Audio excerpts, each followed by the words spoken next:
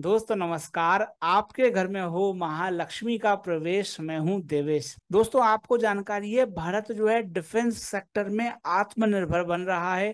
तो स्वाभाविक है, हम अपनी ज़रूरत भी पूरी कर रहे हैं और साथ में दुनिया की डिमांड को पूरा करने के लिए सप्लाई भी दे रहे हैं।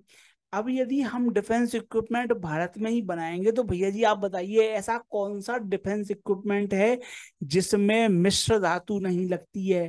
तो भैया जी सवाल है, भारत में मिश्र धातु बनाने वाली कंपनी कौन सी है? तो उसका नाम है मिश्र धातु निगम। और ये जो मेधानी नाम की कंपनी है, वो उठा रही है नए कदम। उनकी चर्चा करने के पहले हम आपसे आग्रह करते हैं कि चैनल को सब्सक्राइब कर लीजिए। ताकि हमारे ताज़ा वीडियो आप तक तुरंत पहुँच सके। तो दोस्तों, मेधानी ने देखा कि भाई साहब, टाइटेनियम एलॉय की डिमांड बढ़ेगी क्योंकि जो टाइटेनियम मेटल है वो कमाल की है।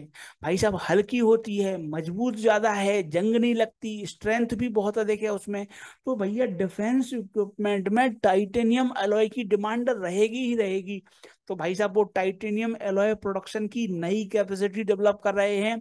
टेक्नोलॉजी भी अत्याधुनिक है। मतलब स्वाभाविक यदि भारत में टाइटेनियम की डिमांड बढ़ेगी तो टाइटेनियम एलॉय का प्रोडक्शन मैदानी करने के लिए तैयार खड़ी है। साथ में भाई साहब, हमारे देश में हवाई जहाज़ बनने लगे, लड़ाकू विमान बनने लगे लड़ाकू हेलीकॉप्टर भी बनने लगे, तेजस हो, प्रचंड हो। आज भारतीय वायुसेना इस्तेमाल कर रही है, कल दुनिया की वायुसेनाएँ खरीदेंगी। तो जो हवाई जहाज़ हैं, जो हेलीकॉप्टर हैं, उनमें जो है लगती है एल्यूमिनियम एलॉय। एल्यूमिनियम की मिश्र धातु लगती है तो मैदानी ने क्या किया है? मैदानी का काम है एलोय बनाने का। लेकिन एल्यूमिनियम भी तो चाहिए तो उन्होंने जो है गठबंधन किया है नालको के साथ। नालको भैया एल्यूमिनियम का प्रोडक्शन करेगी और मैदानी बनाएगी एल्यूमिनियम की मिश्र धातु जिसका इस्तेमाल किया जाएगा एरोस्पेस इंडस्ट्री में।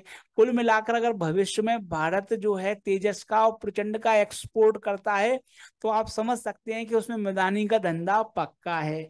इंडियन डिफेंस इंडस्ट्री अगर आगे बढ़ती है तो मैदानी का धंधा पक्का है। यहाँ पर हम मैदानी में खरीदने बेचने की बात नहीं कर रहे आपसे सिर्फ़ आग्रह यह है कि जो न्यूज़ फ्लो आता है, उसको देखकर हमें निवेश के अवसर कैसे पकड़ने हैं तो उसी का उदाहरण है मैदानी आपके सामने। अब मान लो कि इसी प्रकार से एनालिसिस करके आपको एक कंपनी पसंद आ गई तो भाई साहब उसका फंडामेंटल और टेक्निकल एनालिसिस कर लीजिए, चार्ट पर महालक्ष्मी जी का दर्शन कर लीजिए, जैसा उनका आदेश हो अनुसरण कीजिए, पैसे की बरसात अपने आप होगी। लेकिन दोस्तों, अधिकांश निवेशकों का पैसा बनता है जब मार्केट ऊपर चढ़ता है। गिरते समय तो भैया पैसा नहीं आता, टेंशन आती है।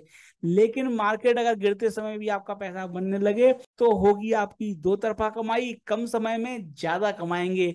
वो संभव है, आचार्य चाणक्य की हेजिंग स्ट्रेटजीज के माध्यम से, इसी वीडियो के डिस्क्रिप्शन बॉक्स में दी गई है लिंक उस पर क्लिक करके ज्वाइन कर लीजिए। आत्मनिर्भर फ्यूचर्स एंड ऑप्शंस कोर्स धन्यवाद, जय श्री राम।